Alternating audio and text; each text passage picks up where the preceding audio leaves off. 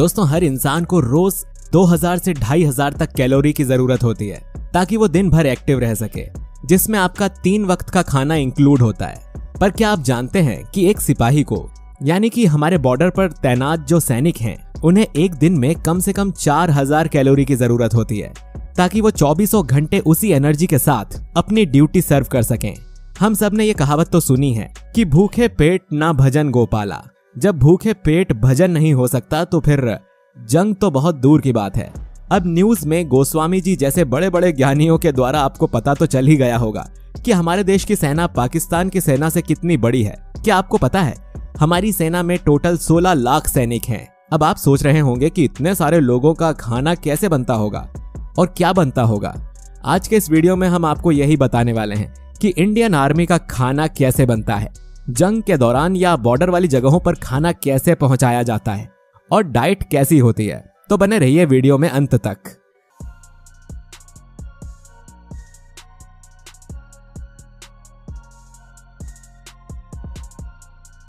Indian army के लिए कहा जाता है कि सेना पेट भरने पर ही आगे बढ़ सकती है। हमारी सेना में भी एक पुरानी कहावत है, army marches on its stomach. यानी जंग लड़ने के लिए सैनिकों को पेट के बल जाना पड़ता है। अगर हमारे सैनिक भूखे पेट रहे तो जंग नहीं लड़ पाएँगे। भारतीय सेना में खाने को लेकर बहुत सारी बातों का ध्यान रखा जाता है, क्योंकि हमारे फौजियों की देखरेख करने वालों को पता है कि अगर उन्हें भरपेट खाना नहीं मिला तो वे अच्छे से अपना काम नहीं कर पाएँगे। आप सभी ने बॉर्डर फ़िल्म तो देखी ही होगी। उसमें उस रेजिमेंट के साथ एक खानसामा रहता है। बॉर्डर फ़िल्म में खानसामे का रोल कुलभूषण खरबंदा ने किया था।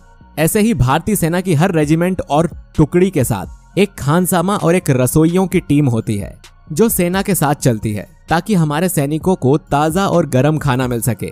सेना की आर्मी सर्विस कॉप का, यानी कि ऐसे गाँव का खाने पीने के इंतज़ाम करने में इम्पोर्टेंट रोल रहता है। हर यूनिट को राशन और खाने पीने का सामान अलग से मिलता है।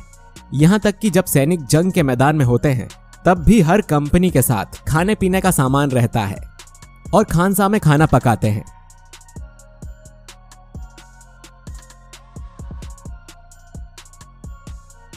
जिससे सैनिकों को ताज़ा अपनी पसंद का खाना मिलता रहे। खान सामा का ये रोल होता है कि वो सैनिकों को तीन टाइम का खाना मुहैया करवाए। इसके साथ ही स्नैक्स और चाय का भी अरेंजमेंट करे। अब बात करें उन रेजिमेंट या सेना की टुकड़ियों की, जो एक जगह से ऑपरेट की जाती है, जिन्हें बटालियन कहा जाता है, जहाँ पर प्रॉपर आर्मी शेफ और कुक्स होते हैं, जो लंगर के लिए खाना बनाते हैं, जिसमें पूरी तरह से न्यूट्रिशन और डाइट प्लान का ध्यान रखते हुए खाना बनाया जाता है। और वेज नॉन वेज दोनों तरह का खाना हमारी सेना को दिया जाता है। अब हम सेना की उस रेजिमेंट की बात करेंगे, जिन्हें हम बीएसएफ यानी बॉर्डर सिक्योरिटी फोर्स के नाम से जानते हैं। आखिर उनका खाना कैसे पहुँचता होगा? तो सबसे पहले शहरों से सब्ज़ियाँ, फल, दाल, चावल, मांस, अंडा, आटा और बाकी खाने पीने के सारे सामान फ़ूड कंटेनर वाले ट्रकों में भरकर उस जगह तक पहुँचाया जाता है, जहाँ सेना ने अपना कैंप लगाया है। अगर ट्रक वहाँ तक किसी कारणवश नहीं पहुँच पाते हैं तो वहाँ हेलीकॉप्टर के ज़रिए कैंप के नज़दीक जगह पर सामान गिरा दिया जाता है। बाद में सेना के जवान उन्हें लोकल पब्लिक ट्रांसपोर्ट या घोड़े पर लाद कर अपने कैंप्स तक ले जाते हैं और वहाँ उनके साथ गए कुक्स उन सामान से खाना तैयार करते हैं। एसी फोर्स की सारी मेन्यू तैयार की जाती है। सौ से डेढ़ सौ सैनिकों में उनके साथ दो कुक होते हैं, जो सुबह के नाश्ते से लेकर रात का गर्म खाना तक प्रोवाइड करते हैं।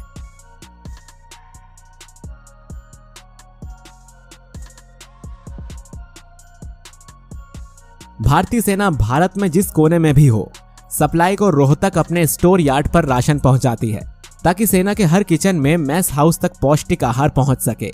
जंग के दौरान जो सेना मोर्चे से हट नहीं सकती, उन्हें खाना इंसुलेटेड केसेस में पैक करके प्रोवाइड किया जाता है। युद्ध के दौरान सेना की डाइट में एनर्जी बार्स और एनर्जी ड्रिंक्स भी शामिल होती हैं। आइए बात करते हैं सैनिकों की डाइट की। तो सुबह चाय, कॉफ़ी और नाश्ते में पूरी और पराठे दिए जाते हैं। प्रॉपर मील में दाल। चावल, रोटी, सब्ज़ी और भरपूर सलाद दिया जाता है और रात में सैनिकों को हल्का खाना दिया जाता है। सैनिकों का खाना मेन्यू शेड्यूल के हिसाब से बनता है। हफ़्ते में दो बार नॉनवेज दिया जाता है और जो सैनिक नॉनवेज नहीं खाते हैं, उनके लिए पनीर या दूध जैसी चीज़ें होती हैं, ताकि भरपूर मात्रा में उन्हें प्रोटीन मिलता रहे। फौजियों को हर जंग के लिए तैयार किया जाता है और उसी के हिसाब से उनकी फ़िज़िकल एक्टिविटी करवाई जाती है।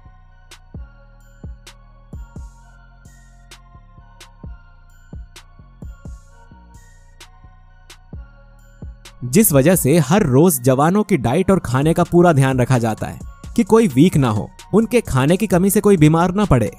जवानों के खाने में फल और जूस शामिल होते हैं, ताकि शरीर में हमेशा ऊर्जा और स्फूर्ति बनी रहे। दोस्तों, क्या आप जानते हैं कि फौजियों के जो कुक होते हैं, उनकी भी सेना में भर्ती और ट्रेनिंग प्रोसेस नॉर्मल सैनिकों की तरह ही होती है, और उन्हें भी कंपलसरी ट्रेनिंग लेनी होती है।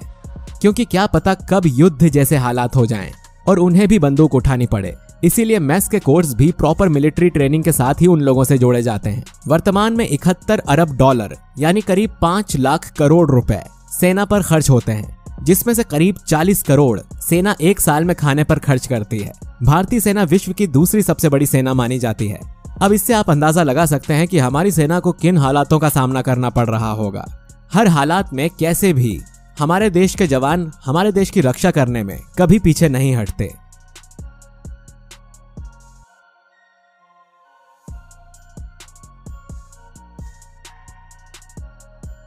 आर्मी का खाना पौष्टिक तो होता ही है, पर क्या आप जानते हैं कि ऑफिसर्स के लिए खाना अलग मैस प्रबंध और सिपाहियों के लिए अलग? समझदार को इशारा काफ़ी है। पौष्टिक खाने और स्वादिष्ट खाने में अंतर होता है। हमारे सैनिक देश के सबसे ठंडे इलाके और खून सुखा देने वाली गर्मी में भी तैनात रहते हैं। तो ज़रूरी नहीं है कि उन्हें हमेशा एक तरह का ही खाना मिले, या फिर अच्छा खाना ही मिले। हमारे घर पर भी अगर चार लोगों का खाना बनता है तो ज़रूरी नहीं कि वो रोज टेस्टी बने। कड़वा स्वाद इधर उधर हो ही जाता है। हमारे पास ये प्रिविलेज है कि हम कह सकते हैं कि आज का खाना अच्छा नहीं बना है। मैं कुछ और खा लूँगा। पर हमारी सेना को गवाई युद्ध की स्थिति में वो कड़वा खाना भी खाना पड़ता है, जो खाने लायक भी नहीं होता, या कभी कभी बस कैलोरीज के लिए और ज़िंदा रहने के लिए खाना खाना पड़ता है। हालाँकि दरअसल लद्दाख का एक बड़ा हिस्सा, यानी ठंडा रेगिस्तान है। इसके चलते यहाँ सब्ज़ी हो या फल, यहाँ बेहद मुश्किल से मिलते हैं। लेकिन देश के दूर दराज और बेहद ऊंचाई पर होने के चलते, कई महीनों तक ये इलाका देश के बाकी हिस्सों से कटा रहता है। ऐसे में चीन सीमा हो या कारगिल, द्रास या फिर पाकिस्तान से सटा सियाचिन इलाका, वहाँ सैनिकों को ताज़ा भोजन मुहैया कराना एक बड़ी चुनौती था। यहाँ तक कि जो फल और सब्ज़ी मैदानी क्षेत्रों में आसानी से उग जाते हैं, वो यहाँ नहीं उग पाते हैं। पर हमारे जवानों को ऐसी ट्रेनिंग दी जाती है, जिसकी वजह से वो किसी भी स्थिति में सरवाइव कर लेते हैं। ये सारी बातें जानने के बाद इंडियन आर्मी के लिए आपके दिल में कहीं ना कहीं इज़्ज़त और बढ़ गई होगी। तो इंडियन आर्मी के लिए एक लाइक तो बनता है। तो दोस्तों, आप हमारे देश के सेना जवानों के बारे में क्या कहना चाहेंगे? हमें कमेंट बॉक्स में ज़रूर बताइएगा। और हाँ अगर आप भी आर्मी लवर हैं तो वीडियो को लाइक करना बिल्कुल मत भूलिएगा। चलिए दोस्तों, मिलते हैं आपसे अगले वीडियो में। तब तक अपना ध्यान रखिए। Bye bye